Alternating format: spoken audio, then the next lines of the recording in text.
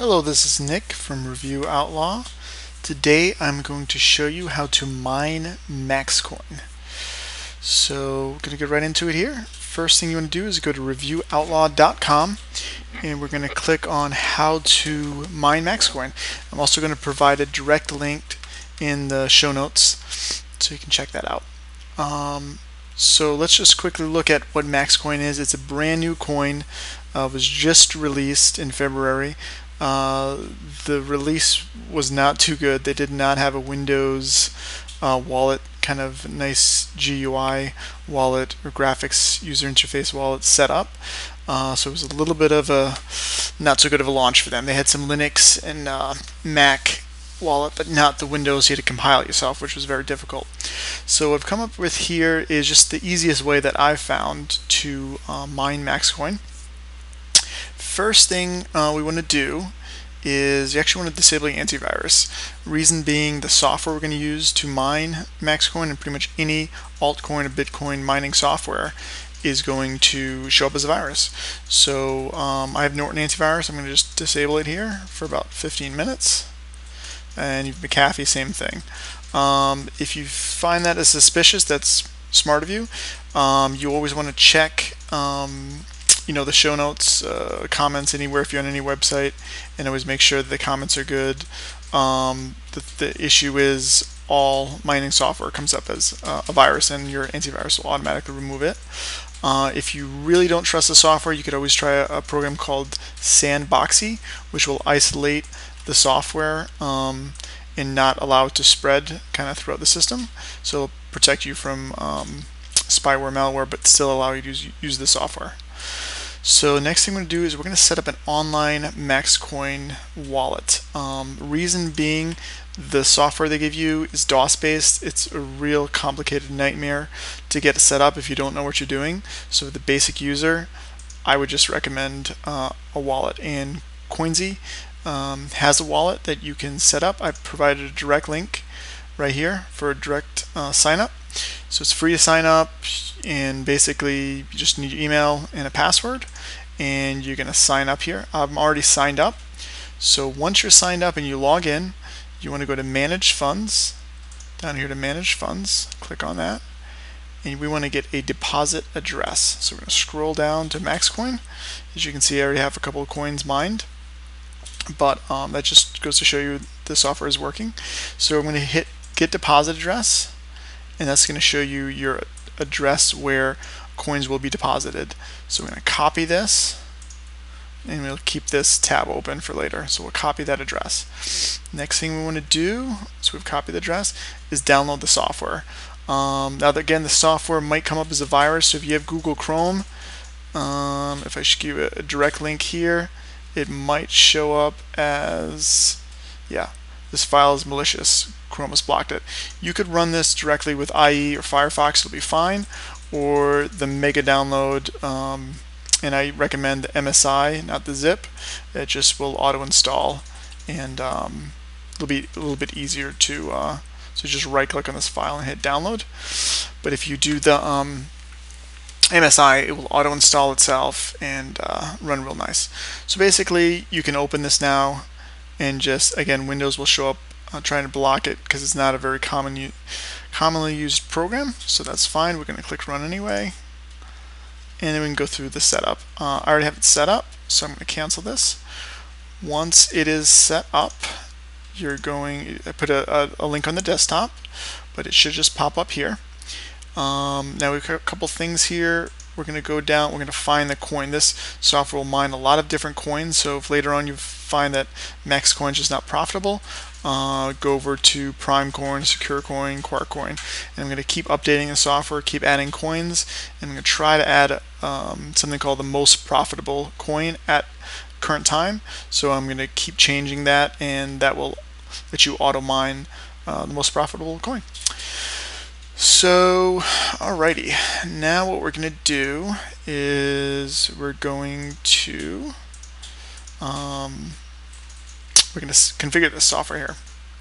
First thing we want to do is we're going to test to make sure that everything's working good.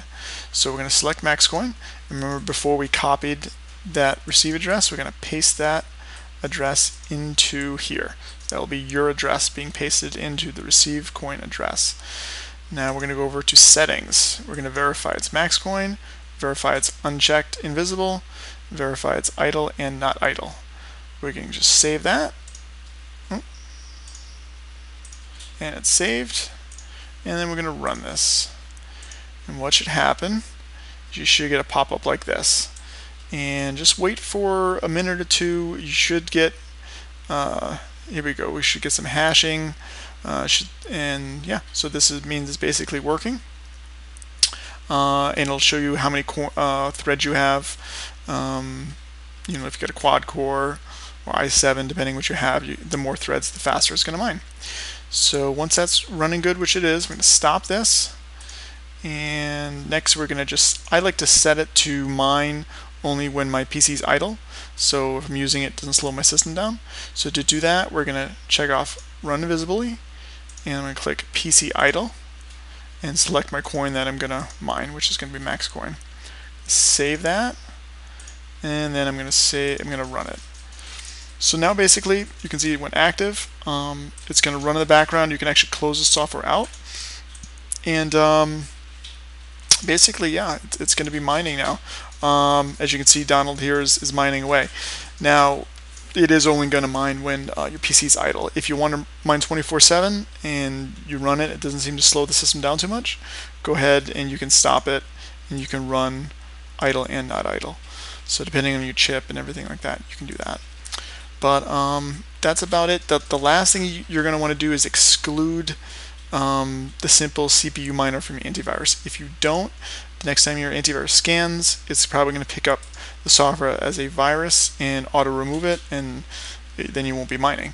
So to do that in Norton, you're going to go into Norton here, you're going to go to settings, you're going to under items to exclude from scans, configure that, and you're going to add folder, choose the folder, and where the folder we want to exclude is C program files x86 and miner.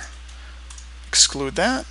I'm just going to copy this, copy, because there's one more place we need to put this in. So you just copy this folder, okay, apply, and then we go down to exclude also from auto scans and uh, sonar. So we're going to add this, folders, exclude, okay, apply, okay, okay.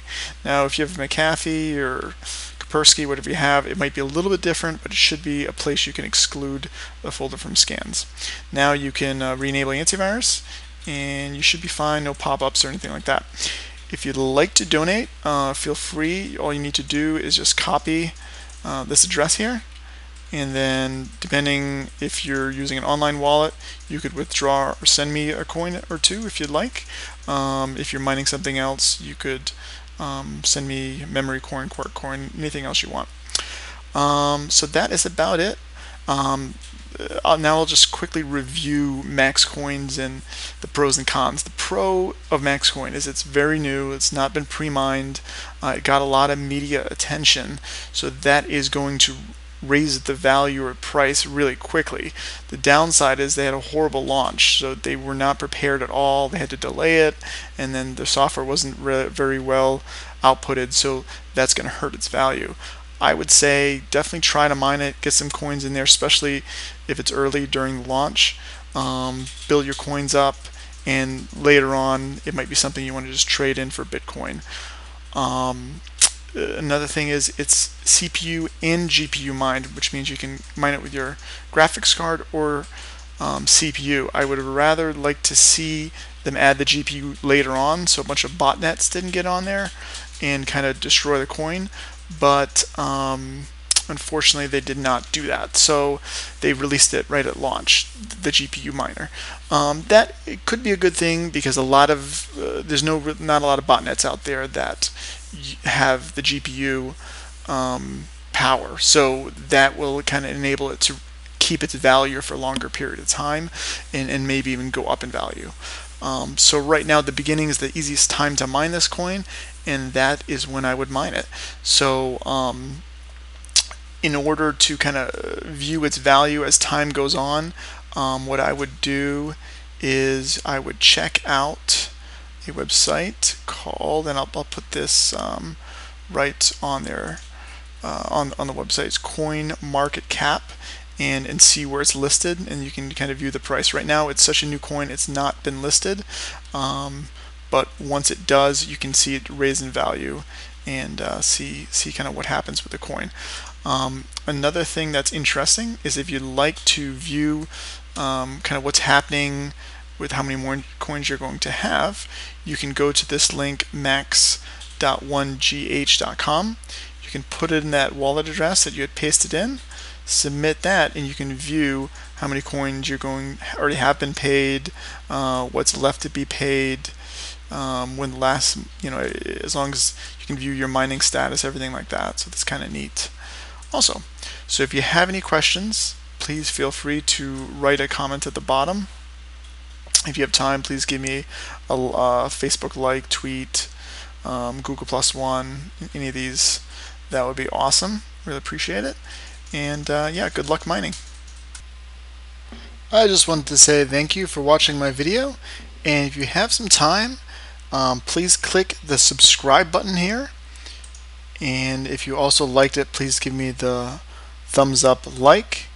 Um, that will help me, my videos out greatly in my channel. And finally, you can actually um, view uh, more about my posts and videos at reviewoutlaw.com. And I put a link here in the show notes. Thank you.